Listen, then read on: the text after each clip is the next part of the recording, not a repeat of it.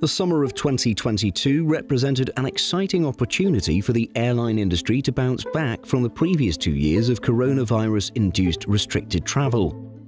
However, at airports like London Heathrow, inadequate preparation in terms of staffing led to extensive disruptions and capacity limits. Emirates President Sir Tim Clark, a carrier deeply affected by the crisis, has now suggested that Heathrow's CEO should resign the spark that ignited the fire in terms of Clark's latest comments appears to have been the suggestion that Heathrow's capacity caps may return at a later date. Indeed, as it stands, these daily limits, imposed to combat disruption caused by factors such as understaffing, were set to be lifted just before the end of October.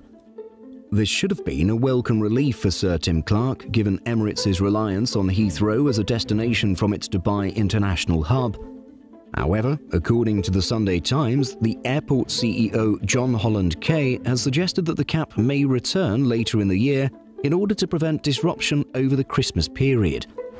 That seems to have been the last straw for Clark, who stated, That's inexcusable. Anybody who says anything like that is the wrong guy for the job. Clark is far from the only leader to have taken a swipe at Heathrow over the airport's underestimation of post pandemic travel demand. Indeed, IATA Director General and ex-IAG and British Airways CEO Willie Walsh also reportedly described Heathrow's performance in recent months as a disgrace. Heathrow's relationship with Emirates has gone sour in recent months.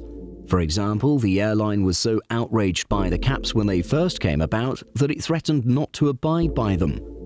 The Sunday Times added additional remarks from Clark, who said, Holland Kaye's job is to be up there and out there looking after consumers, not belly aching about not being able to get staff. We did what we had to do, workarounds.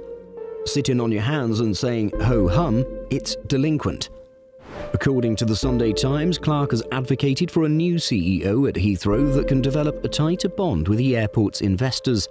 After all, the Emirates president pointed to a lack of investment as a factor in the understaffing, stating, Yes, investors were losing billions during lockdowns, but that's when you have to put in billions.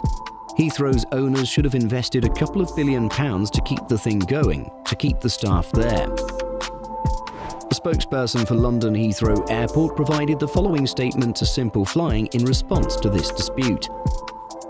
When the industry faced challenges scaling up this summer, we acted to protect consumer service at Heathrow our interventions were more targeted than other European hubs and have been shown to be the right thing to do. We are proud that Heathrow was the busiest European hub this summer and achieved consumer service scores almost as high as in summer 2019 as a result of close collaboration with airlines and their ground handlers. We'll continue to do so in the interests of consumers, and it's disappointing that IATA has sunken to making unjustified personal attacks in an effort to influence the CAA board. What do you make of Sir Tim Clark's comments? Let us know your thoughts in the comments. In addition to our daily YouTube videos, Simple Flying publishes over 150 articles every week. If you're looking for the latest aviation news and insights, visit simpleflying.com.